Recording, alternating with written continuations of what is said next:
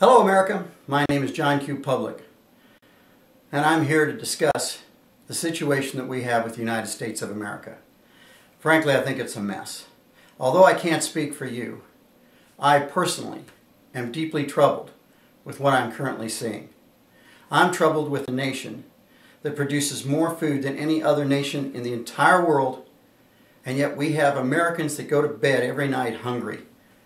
I have a nation that has the greatest health care in the entire world, and yet most Americans can't afford to use it.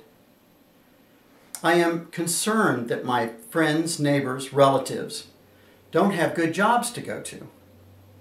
But I think the thing that concerns me the most is that we have the greatest, richest nation, and we can't pay our own debts.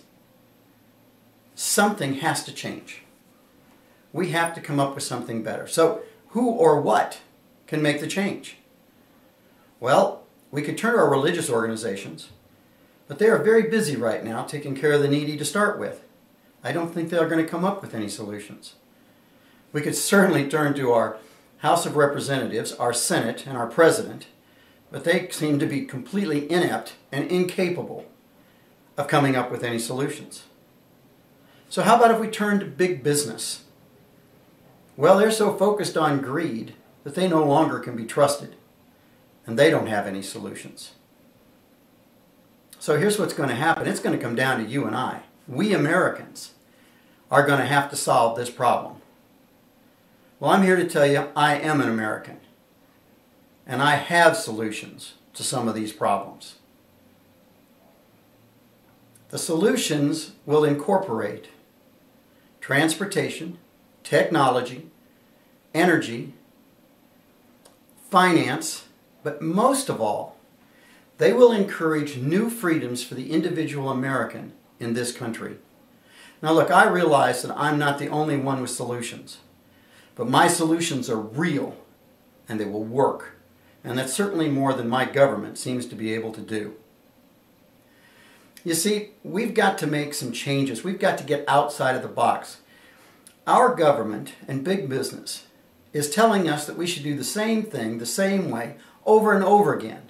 But somehow we're supposed to expect different results. You do understand that this is the definition of insanity.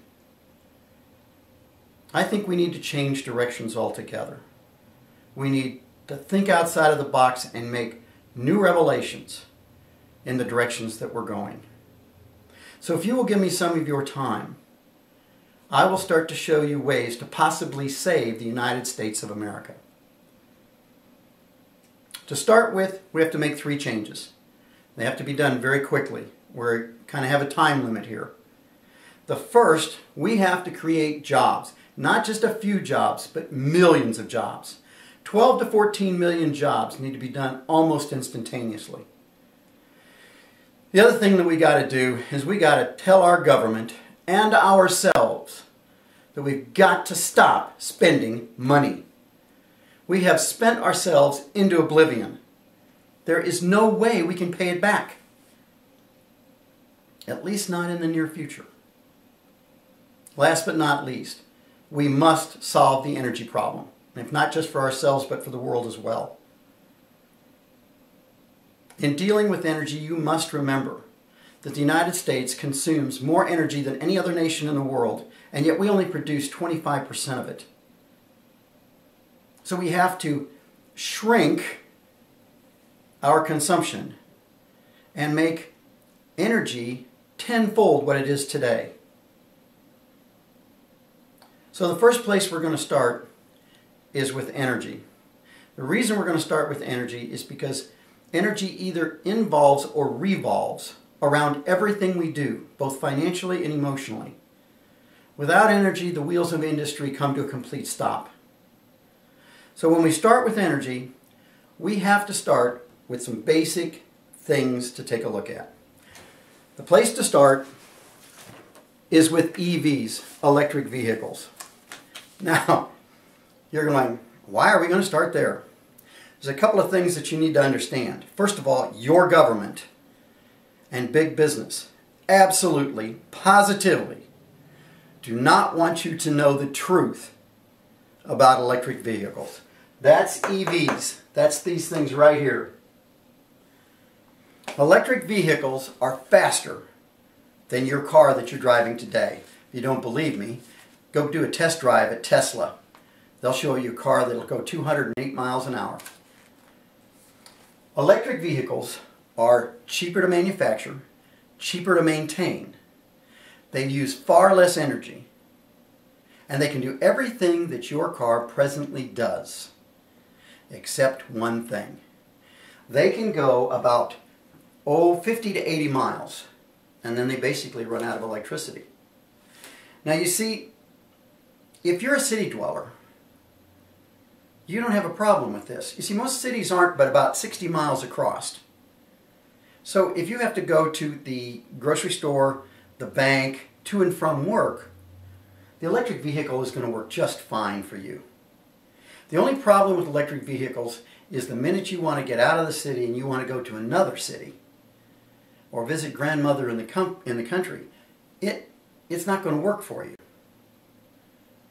And I've got ways later on down the road to show you how that's not a problem.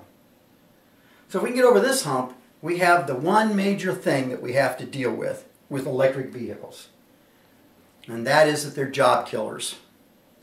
You see, if one out of every 16 Americans was to flip to an electric car tomorrow, we would lose about 1 million jobs. Now, I don't know about you, but I don't think the United States of America could stand to lose another million jobs. So the EV concept, the electric vehicle concept is sound. We just have to figure out a way to solve the job problem. That's this up here.